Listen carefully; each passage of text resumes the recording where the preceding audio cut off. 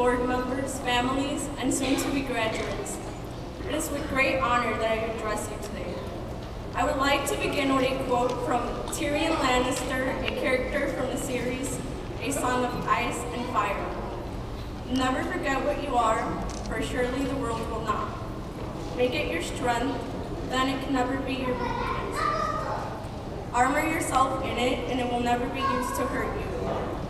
I'm not sure if many of us remember our freshman year, because I have certainly made many attempts to forget it, and all the embarrassing moments that came with it. Regardless if we remember or not, we cannot forget how we felt towards each other.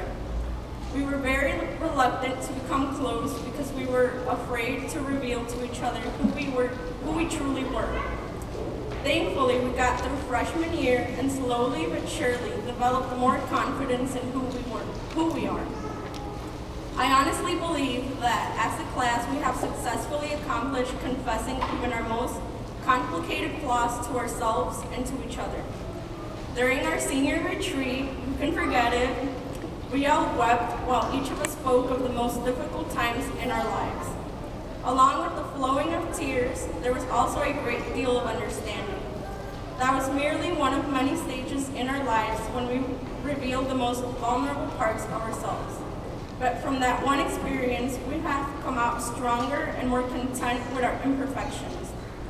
Although it took some time for all of us to not only feel at ease, but also to be ourselves around each other, during the next point of our lives, we will be ready to show those among us who we truly are. Today, we are more sure of ourselves and speak with great pride of the obstacles we have overcome in our lives. We no longer feel uneasy about insecurities and, and have come to fully embrace them, or rather, we have armored ourselves in our insecurities. We have come to reach the stage in our lives with the assistance of our families and a helpful and encouraging faculty and staff at Josephinum. I believe that every single member of the Josephinum community has contributed to our growth, and for that, we can only thank them.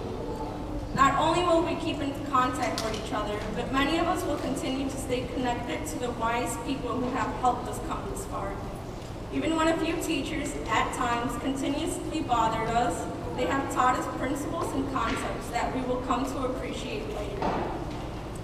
Today, we will not only be leaving here as Josephinum graduates who have accomplished many things, academically, personally, and socially. We will leave prepared to face the world in its entirety.